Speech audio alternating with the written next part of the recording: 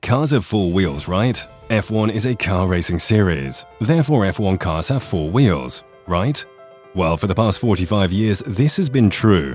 However, the most complicated and probably the most interesting car ever made for the apex of motorsport does not follow this seeming rule. So what are we talking about here? Six-wheel Formula One cars? No, we aren't smoking something. This happened during the 70s, and it was called the Tyrrell P34. Now, why in the world would a Formula One car have six wheels? Four wheels seems to be more than enough, unless your name is Fernando Alonso and you're driving in Baku in 2019, in which case two wheels is plenty. But why six? Well, the man who designed it, Derek Gardner, designed it so his team Tyrrell would be able to get an unfair advantage. You see, in the 1970s, the F1 field was much more even than it is today.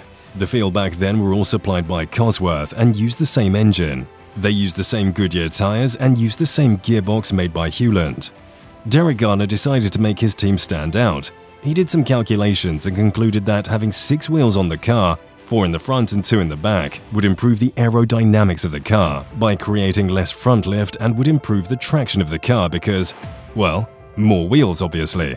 Gardner said in an interview that his findings equaled an extra 40-odd horsepower just like that when he came to his boss, three-time world champion Jackie Stewart, with the design idea. Jackie nearly choked on his coffee.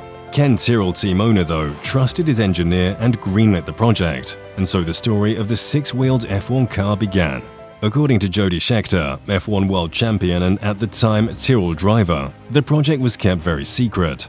It was kept so secret in fact that not even he or his teammate Patrick Depailler knew anything about the development of the car, the only people outside of Tyrrell who knew about the development of the six-wheeler were the folks over at Goodyear. They were tasked with making the smaller wheels for the front. Engineering-wise, it's probably the most complicated car ever made. Because it has six wheels, its suspension, aero and monocoque are all tailored for that. The suspension is connected directly to the steering system, and both of the front wheels have to turn. So the suspension and steering have to accommodate for not only one, but two sets of wheels turning, in order for it to be stable and drivable. So, the mechanisms of the steering had to double. This obviously made the car weigh much more.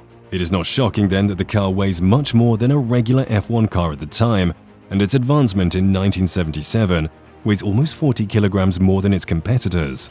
Another part of the car that I alluded to earlier as being specially engineered were the front tires. They had to be small enough to fit in the limited space, but still large enough in order to provide the necessary amount of grip for the car. Goodyear was given this thankless task and managed to create wheels for the front of the car that were 10 inches in diameter and were much smaller than the regular wheels used for F1 cars at the time.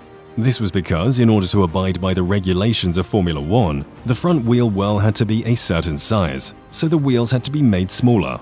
Of course, Tyrrell was the only team to run a six-wheel configuration in an F1 race ever, so the design didn't really catch on and had more than a few issues. The first issue was the fact that the car's biggest problem was its braking performance. It was originally thought that the car's six brake calipers would aid in braking performance, and this was true. They did in fact help, as the car was able to slow down and stop faster than its competitors, and coupled with the car's better turn-in, it was a monster turning into corners. However, the brakes were the main downfall of the car, especially the front brakes. Due to the fact that they were made to fit the regulation of Formula One at the time, the wheels were small, 10 inches like we already mentioned. This meant that the front brake calipers of the P34 were susceptible to malfunctioning.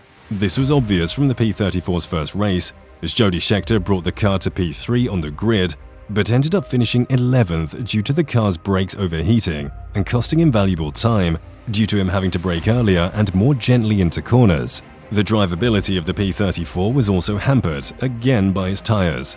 Because the front two tyres were much smaller than the rear two, they rotated more at the same speed, more revs per minute of the front tyres meant that those tyres wore out faster than the rear tyres. And in the 70s, refueling wasn't allowed, and pit stops weren't mandated by the rules as they are today. So drivers would have to massage and care for the same tyres from the beginning till the end of the race in order for them not to puncture. This was difficult for the drivers to do, because even though the car was very fast in the beginning, it was much slower than all of the other cars by the end of the race. This is strange for a Formula One car because in general, a Formula One car is faster as the race draws to an end and the fuel load burns down, thus making the car lighter and more nimble. This was not the case for the P34 as much as it was for the other cars. The other problems came not only from the drivability of the P34, but from its development. Because of the P34's overheating issues with its brakes, the engineers spent most of their time developing solutions for that issue. This was a gamble that didn't really pay off because the car's braking issues were never really fixed and the brakes kept overheating, admittedly afterwards to a lesser degree, until the end of the car's lifespan in 1977, but the development of clever cooling solutions also hampered the car's development in other areas, thus keeping the car at a developmental standstill. Another problem the car engineers ran into were, again, the front tires. Goodyear was the only tire provider of the Formula One field at the time, similar to how Pirelli is today, and the Tyrrell team was the only team using the 10-inch wheels made by Goodyear, and the people at Goodyear didn't have the resources or the time to develop small 10-inch wheels needed for the car to drive.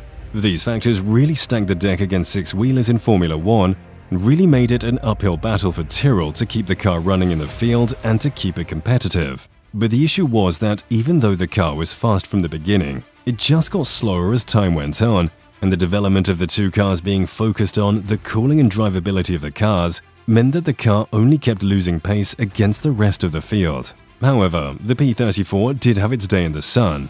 In the 1976 Swedish Grand Prix, the Tyrrell team had a wonderful Saturday, as Jody Scheckter put the six-wheeler on pole position with a 1 minute 26.6 second lap time, even breaking the Scandinavian Raceway track record in the process. The race only really had one standout moment, as Mario Andretti on second illegally overtook Jody Scheckter, who was on pole, before the backmarkers took their place on the grid. This meant that he was hit with a one-minute time penalty, and Jody was given the lead and eventually the win of the race. The race was historic only because it was the first and so far only Grand Prix to have ever been won by a six-wheeled Formula One car.